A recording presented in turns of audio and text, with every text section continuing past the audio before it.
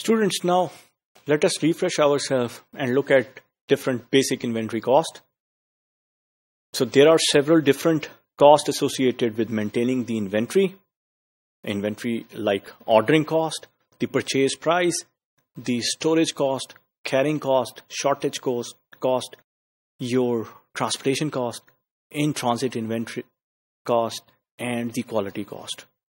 Although some of the costs increase with higher inventory levels, others decrease. So there are different type of costs that actually increase with the higher level of inventory.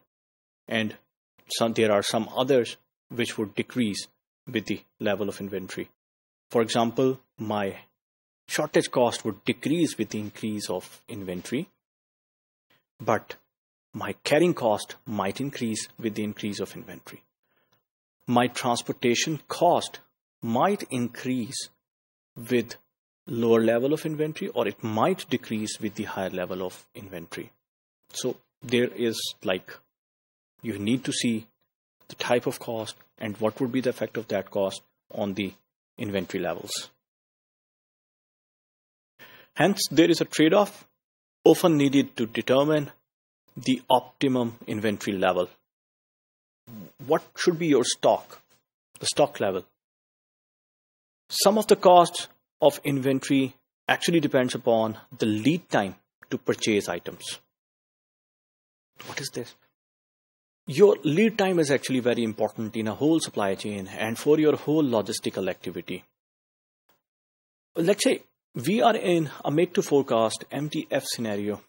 So in a forecast, I would have a very relatively larger lead time.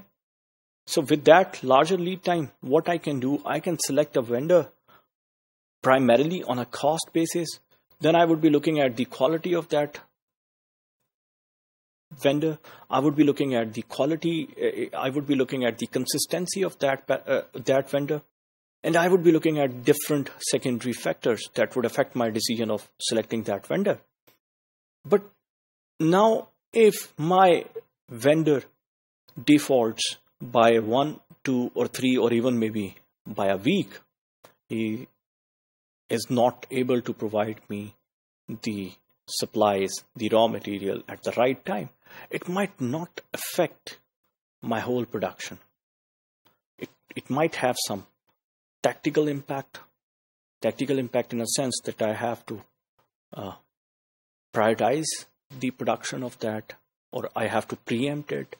In preemption, what would I do? I would actually stop an order and give priority to the raw material of that which is actually now becoming late.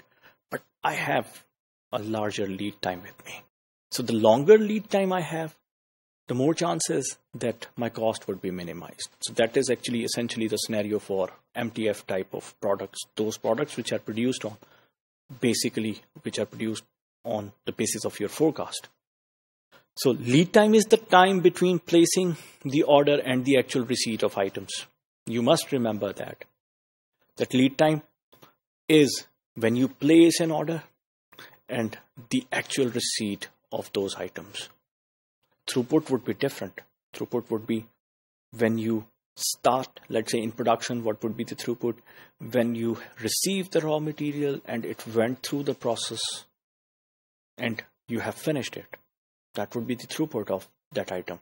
But the lead time is actually something which is like for, let's say, if I want to say the lead time for a purchase, the time I place an order and I receive those items or those raw materials that would be the lead time.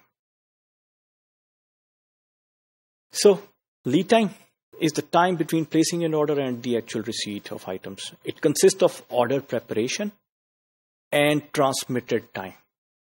So you prepare the order, you transmit it, you, you, you actually shipped it. And time to manufacture or assemble the the item. So in production, my lead time would be the total time when I receive the raw material to the time when it is finished. Throughput is different.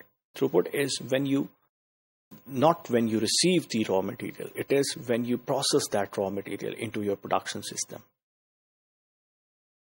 So transportation time and receipt and inspection time are also included in your lead time. So lead time determines the minimum inventory to be maintained to prevent shortages. So lead time actually helps in having the minimum level of inventory with you. What actually companies do, if you can, or enterprises do, they, they, they define the inventory policy. That inventory policy, let's say, defines some minimum level of inventory. And that minimum level of inventory is actually dependent upon the lead time.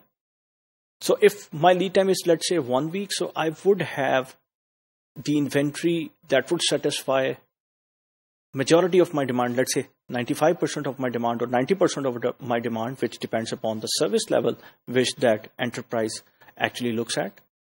So if it is one week, so I should have one week inventory with me that would satisfy 95% of my, or there are chances that it would satisfy 95% or 90% of my uh, customer orders. And then if it touches that minimum level, I will be placing an order with my supplier, with my vendor, so that when that inventory is depleted, I would have the stock with me. That is the basic concept of lead time in inventory. And it actually helps in defining the inventory levels as well. Thank you.